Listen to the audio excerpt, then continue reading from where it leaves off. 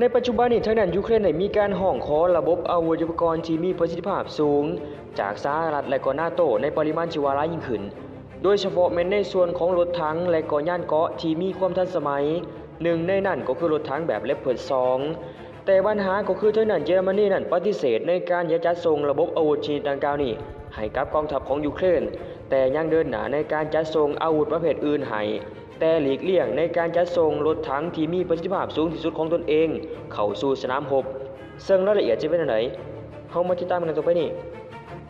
และก่อนจะไปชมอย่าลืมกดติดตามในช่อง เพื่อบ่ให้พลาดข้อมูลข่าวสาร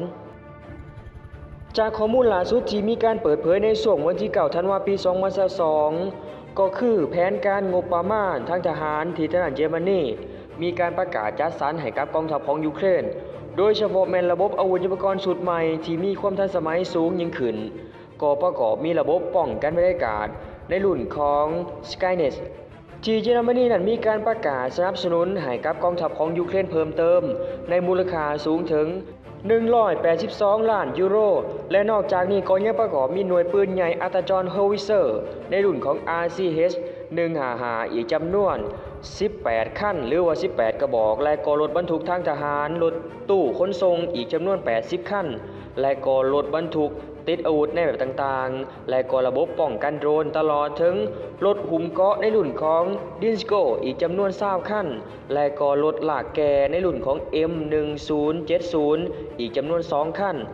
โดยในจำนวนดังกล่าวนี่เขาระบุว่าในปัจจุบันนี้ทางด้านสหรัฐมีการจัดส่งรถหลากแก่บรรทุกในลักษณะดังกล่าวนี่ให้กับยูเครนไปแล้วจำนวน 12ขั้นและก็รถลำเลียงพลทางทหารหุ่มเกราะแบบดินสโก อีกจำนวน50ขั้นนับตั้งแต่อดีตมาจนถึงปัจจุบัน และถึงแม้ว่ากองทัพของเยอรมนีจะมีการสนับสนุนอาวุธยุปกรณ์เป็นจำนวนหลายให้กับกองทัพของยูเครน แต่ว่าสิ่งดังกล่าวนี่ก็ยังบ่เป็นที่พอใจของยูเครน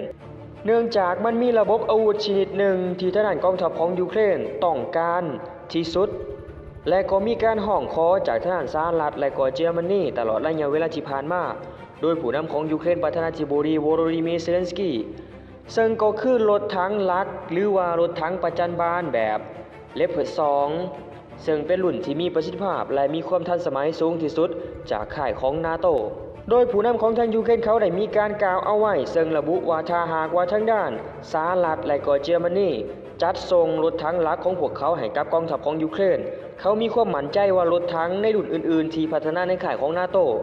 รุ่นต่อๆไปก็จะถือส่งให้กับกองทัพของยูเครน แต่ว่าก่อนอื่นจะต้องเริ่มจากทางด้านสหรัฐและก็เยอรมนีก่อน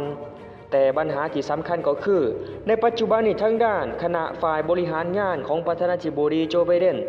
เขายืนยันว่าสนับสนุนแผนการ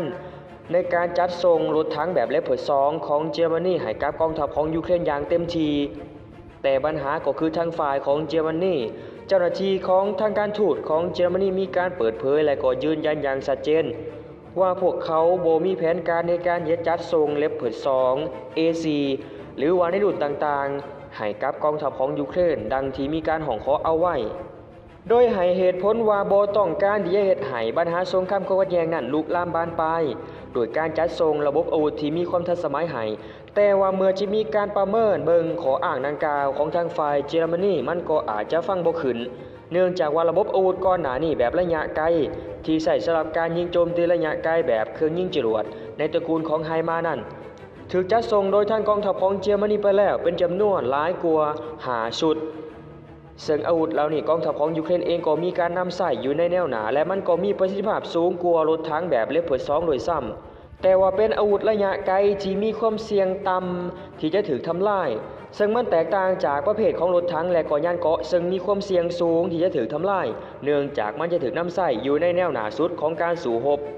แต่ว่าสิ่งที่น่าสังเกตก็คือในปัจจุบันทางด้านสหรัฐ กดดันให้ทางฝ่ายของเยอรมนีจัดส่งรถถังแบบเลปเพิร์ด2ให้กับกองทัพของยูเครน แต่ว่าในทางกับการสหรัฐเองก็บ่มีแผนในการเหยียจัดส่งรถถังหลักของตนเอง แบบ M1 A2 อับรามให้กับกองทัพของยูเครน ถึงแม้ว่ายูเครนเองก็จะห้องขอการสนับสนุนด้วยรถถังในรุ่นดังกล่าวจากสหรัฐ แต่ว่าทางด้านสหรัฐนั่นก็บ่ได้มีการตอบสนอง หรือว่าแสดงท่าทีในการตอบรับ แต่สิ่งที่มันได้เกิดขึ้นก็คือในปัจจุบันรถถังส่วนใหญ่และก็รถหุ่มเกาะลัก ที่ทาด้านนาโตจัดส่งให้กับกองทัพของยูเครนจะเป็นรถถังแบบที่ 64 และก็แบบที่ 72 และก็แบบที่ 80 ซึ่งเป็นรุ่นเก่าและก็มีประสิทธิภาพที่ว่าต่ำแต่สิ่งที่ทางกองทัพของยูเครนต้องการก็คือรถถังขันสูงจากนาโตโดยตรงปัญหาที่สำคัญก็คือทางด้านสหรัฐและก็พันธมิตรนาโตอาจจะกังวลใจ ว่ารถถังเหล่านี้อาจจะถูกทำลายเนื่องจาก ถ้าหากมีการส่งเขาสนามรบยูเครนมันจะถูกใส่งานอยู่ในแนวหนาสุดของการต่อสู้และความเสี่ยงในการจะถูกทำลายนั่นก็ถือว่าสูงกว่าระบบอาวุธประเภทอื่นๆ กลัวระบบจรวดไฮมา และก็กลัวปืนใหญ่โดยซ้ำและนี่จึงเป็นอีกหนึ่งเหตุผลที่ทางด้านสหรัฐและก็นาโตนั้นหลีกเลี่ยงที่สุดในการจัดส่งรถถังขันสูงของตนเองให้กับยูเครน ซึ่งจัดส่งได้เฉพาะในส่วนของรถหุ่มเกาะขนาดเบาเท่านั้น พราะถ้าหากว่ามันถึกส่งเข้าไปแล้ว ปรากฏว่ามันถึกทำลายจากระบบเครื่องยิงจรวดต่อสู่รถถัง ในฝั่งของทางรัสเซียมันจะส่งผลกระทบอย่างหนักต่อกับยอดการส่งออกอาวุธของสหรัฐและในทางกับกันจรวดต่อสู่รถถังในข่ายของทางรัสเซียเองก็จะขายดีเช่นเดียวกันกับระบบเครื่องยิงจรวดต่อสู่รถถังในฝั่งของสหรัฐและก็นาโต